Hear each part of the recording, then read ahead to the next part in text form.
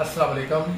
हम लोग अभी शूट पे थे और अभी न्यूज़ आई है, बहुत सैड न्यूज़ है कि इरफान खान साहब हमारे बहुत खूबसूरत एक्टर मैं ज़ाती तौर पे उनका बहुत फ़ैन उनकी बहुत सारी फ़िल्में मैंने देखी और उन्होंने हर फ़िल्म में बहुत अदाकारी के जौहर दिखाए। आज वो हम में नहीं रहे, बड़े अफसोस की बात है।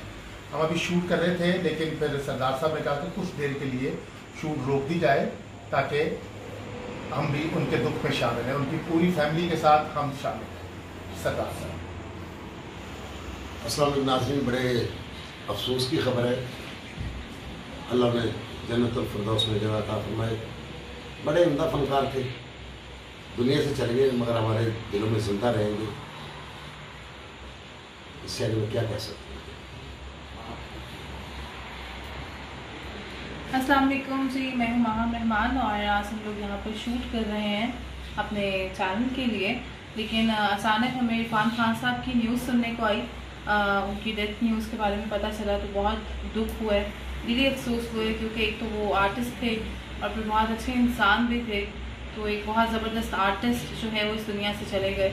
एक अच्छे इंसान इस दुनिया से चले गए, जो कि बहुत बड़ा लॉस है। और ये कमी कभी भी पूरी नहीं हो सकती। सो हम लोग सब उनके दुख में बराबर के शरीक हैं